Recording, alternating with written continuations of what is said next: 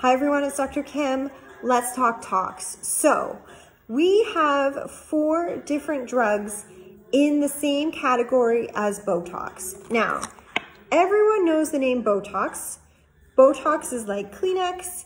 It kind of is a brand name that is used for a category of product. So Botox was the first in on the market. Botox was developed in the late 80s and it is botulism. So it is food poisoning, essentially, purified and attached to a little protein. That protein carries it down to your nerve.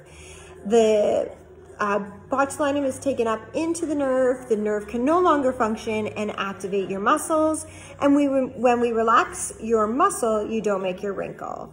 So that is how Botox and the Botox category of drugs relax wrinkles. Basically, you're not using those muscles, you relax the wrinkles. Botox takes 7, 10, 14 days approximately to kick in, maximum at around 14 days, and then wears off over three to four months, depending on the individual. Some people get a little longer, some people a little less. Um, well-studied drug. As I said, it's been around since the late 80s. Millions of people have been injected with it. Second in on the market was Disport or Dysport, depending on how you want to say it. And Disport is also botulism, so food poisoning, and attached to a protein. So very similar structure in the two drugs, but it is a different protein than Botox. What we find with Dysport is that it tends to kick in a little bit faster. Some people start to feel it working at approximately 72 hours. Um, so a little bit of a quicker kick in. It uh, is still maximum at 14 days and lasts again approximately three to four months depending on the person. Lots of misunderstandings around Dysport. Um, the dosing that I do is equivalent, it's just different dilutions. So there's lots of confusion that it takes more Dysport than Botox, but that's not true. It's just different dilutions. Um, and the other uh, question people have about Dysport is they've heard that it spreads um, and uh, it's not as precise as Botox. But that's actually a good thing uh, because that means with Dysport, it spreads a little bit so we can actually get a greater area of coverage compared to Botox. Next in on the market was Xeomin. And our uh, Xeomin is still botulism. Okay, still botulism. Uh, but there's no protein. It has no little friend to carry it down to your nerve. Um, it still lasts three to four months. It still gradually uh, takes effect over seven to 10 days and then wears off very, very similar to Botox. And again, equivalent dosing. Dosing is exactly the same.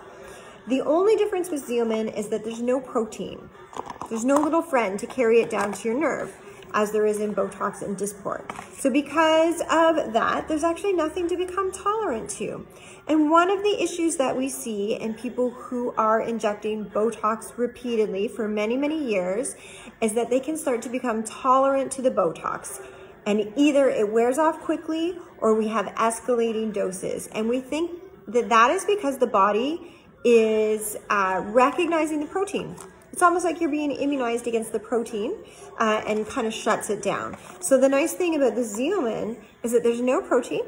So there's nothing to become tolerant to, nothing to develop antibodies to. So this is a fabulous product if your Botox has stopped working, and also people who are very sensitive, um, don't want a lot of other additives. Additives, I use Xeomin, um, and uh, definitely has its place.